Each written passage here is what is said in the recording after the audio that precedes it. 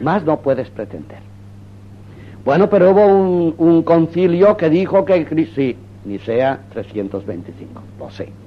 Y este concilio estaba hecho por hombres. Pasa que eran griegos y los griegos tienen una lengua singular y magnífica. Y bueno, lograron quitarse pues una hebilla del zapato, no, no, no más.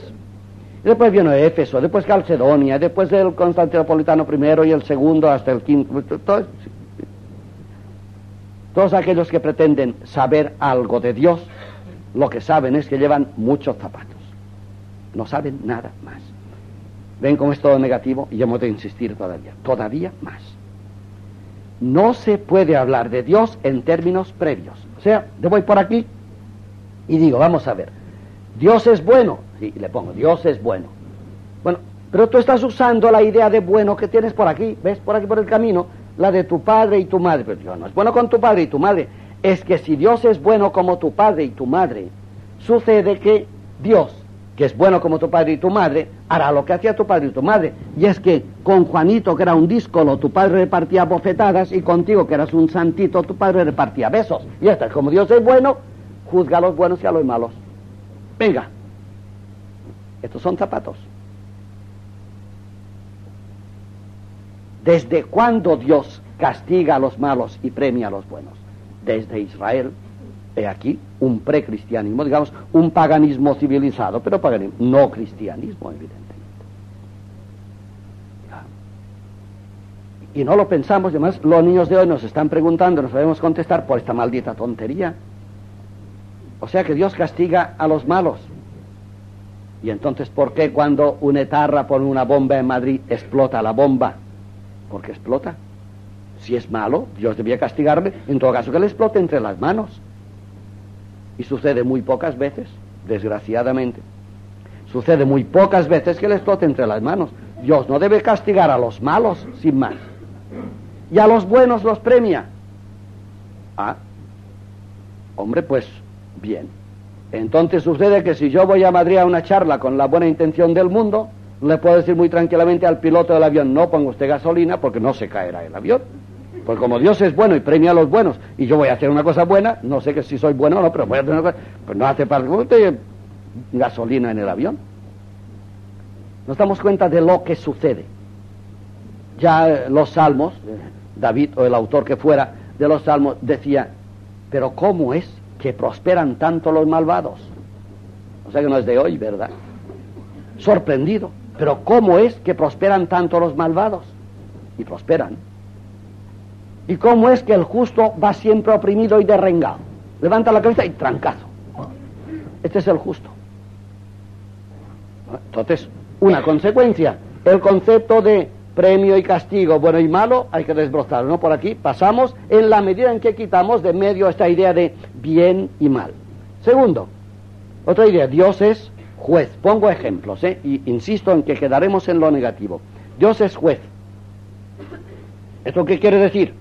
Hombre, que si no es verdad que premia a los buenos y a los malos, como he dicho aquí, ¿eh? lo del avión y tal, sí por lo menos los juzga al final de los tiempos, se llama juicio final. Esto sí que es verdad. Dios es juez. Dios es juez. ¿Y por qué es juez? Hombre, porque las cosas no pueden quedar aquí, ni así. Faltaría encima que ahora, ¿eh? al llegar todos juntitos en el cielo, vamos, y por eso se inventa la reencarnación, por ejemplo, el purgatorio, el juicio final, todas estas ideas. Bien, ¿qué hay que pensar? Bueno, pues lo acabo de decir. Esta rama hay que quitarla. ¿Dónde está que Dios es juez? Casi todas las mitologías saben que... Ahí está. Del cristianismo no lo sé. ¿eh? Y eso ya es bastante más serio. ¿Cómo que no lo sé? No, el que más se acercó a, la mística de, de Jesucristo es San Juan. Y San Juan empieza diciendo, perfecta caritas foris timorem. El amor, cuando es perfecto, echa fuera toda clase de temor. Esto es de San Juan. Fíjense qué pincelada. Cuando el amor es perfecto, echa fuera todo temor, todo miedo. Eso quiere decir, ¿Tú tienes miedo a Dios como juez? No tienes amor. tienes un poco de miedo a Dios, pues tienes bastante amor. Mucho miedo a Dios, tienes muy poco amor. Todo es terror ante Dios, no le ama. Y añade San Juan, y aquel que ama ya ha sido juzgado.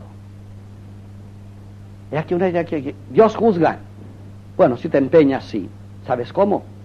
Como Dios es amor y está dentro de ti, al amar tú, ya has sido juzgado. Ya pasas, ya vas, ya vas. Así que un juicio final donde se siente la gente y Dios, hay que desbrozarlo. Dios no es juez de nadie. Pero no vas a decir que Dios, no, lo que tú quieras. Todo lo que me digas son ramas en el camino. Las dejas, déjalas, no pasarás. Quítalas, verás. No hay conceptos previos de Dios. Los que nos dejó, nos dejó la, mitología o la teología de millones de años de nuestros abuelos nos sirve para acercarnos, como Moisés. Curiosamente, por tanto, por dentro sí que está muy bien que tengamos abuelos paleolíticos, porque los abuelos, dentro de nosotros, vivos, quieren asomarse cada vez más al misterio de Dios a través de nosotros, además de lo que hagan por, por su cuenta en las estrellas. Dentro de nosotros empujan los abuelos. Y Moisés, empujado por los suyos, olió la zarza y dijo, voy a ver, ese voy a ver, es la curiosidad humana, toneladas de curiosidad humana almacenada en el ser de uno, que empuja, voy a ver. E iba a ver, e iba a ver empujado por sus abuelos. Y Dios le dijo lo primero, si me quieres ver, abuelos fuera, ¿eh? No que hayas de matar a tus abuelos, pero sí que los conceptos, las sandalias que te dejaron tus abuelos, nos sirven para caminar por ese camino. Hagamos pues un esfuerzo. Bueno, ¿y hasta dónde hemos de quitar? Tú verás, hasta que tú quieras. Si quieres dejar unas ramas, las dejas, pero no pasarás. ¿Qué quiere decir? Que hemos de quitar todo. Todo, absolutamente todo. Más todavía. Antes de Dios, antes de llegar a Dios, no hay concepto ninguno que valga nada hay que quitarlo todo. Y además hay que hacer otro esfuerzo. Y si entre tanto cae algo, alguna rama, ya de antemano hay que tener el propósito de quitarla, porque es una tentación. Todo lo que sabemos previo de Dios no sirve para nada. Sirve para la curiosidad, insisto, empuja desde dentro, esto es muy bueno. Y esto lo agradecemos a todos nuestros padres, como los hijos de ustedes dentro de mil años les agradecerán a ustedes el intento que están haciendo hoy para desbrozar el camino. Y con ese esfuerzo de ustedes, ellos se asomarán un poco más al azar ardiendo, pero también con la condición de que se quiten los zapatos. Si no se los quitan, no pisarán tierra sagrada. Y verán lo que ve todo el mundo y lo que ven todos los cristianos, que saben perfectamente quién es Dios. ¿Se dan ustedes cuenta? No sé si se dan cuenta, por lo menos yo sí me doy cuenta, de lo difícil que es desbrozar el camino y no están ustedes secretamente dando la mano ahora dentro a un diablillo o a, una generación de diablillos por dentro que dice, bueno, pero, pero por lo menos eso no, eso no lo quitemos, eh. eso es un diablillo, ¿eh? Todo hay que quitarlo. ¿Y a dónde nos va a llevar? a ninguna parte, a la zarza ardiendo. Y después, hombre, lo menos que nos va a pasar es que nos quememos en la zarza, que es lo mejor que puede suceder quemarse en Dios, porque quemarse en Dios es arder en el amor eterno y ser eternamente lo que uno de verdad quiere ser. Pero insistamos, y perdóneme la insistencia porque sé que es muy difícil hacer este camino si no es con muy buena intención y una cierta preparación. Volvamos pues, ahí está Dios. Normalmente todos sabemos quién es Dios. Ahora bien, cuando viene Cristo, esto es un, paréntesis que abro porque no es la hora de decirlo, pero fíjense, viene Cristo que está aquí, este ya no es el hombre que va hacia Dios solamente, que lo es, Cristo como hombre crece hacia Dios, sino que además lleva toda la fuerza de Dios dentro, es decir, que éste busca locamente a Dios porque locamente es poseído por Dios. Bien, pues este hombre, este hombre, viene y empieza a hablar. Y habla de tal manera, las palabras son tan de cristal y tan perfectas, es como soltando estrellas por donde pasa, sembrando el bien, como dicen los actos de los apóstoles, qué maravilla, sembrando, como la vida es un surco, pues él por donde pasaba sembraba bien. Ya le podrían enterrar a uno con este epitafio, pasó sembrando el bien. Pasó sembrando el bien y sembraba el bien de tal manera que topaba con un leproso y le curaba. Y topaba con un ciego, la ceguera no era el obstáculo, le daba la vista Y topaba con un muerto, entonces simbólico, pero muy bonito, y lo resucitaba. Topaba con los especialistas de Dios y lo mataron. ¿En nombre de quién? En nombre de Dios. Es implacable, ¿verdad? La historia es horrorosa. Topó con todo, hasta con prostitutas, y no fueron problema para él.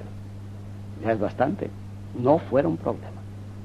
Pero las estructuras religiosas fueron un problema de tal categoría que cuando él, cada vez más iluminado, por ejemplo, tuvo, problemas ahí Jesucristo, sin duda, ¿eh? él como hombre dudó mucho si el sistema religioso de Israel había de ser respetado o no. De Dios que llevaba dentro, le hizo bien clara la situación y dijo, no, no, no, no, esto, esto, es una, en realidad esto es una idolatría, una abominación de Dios, hay que quitarlo. Hay de vosotros fariseos que, hay de vosotros escribas que, claro, desbrozaba el camino. Pero claro, con toda la fuerza que tenía, desbrozó tanto que aquellos por detrás dijeron, oye, este si no lo quitamos de en medio, esto se hunde todo. ¿eh? Y él, que no encontró dificultades ni en leprosos, ni en ciegos, ni en prostitutas, ni en publicanos, ni en muertos, topó dificultades mortales con los representantes de la religión.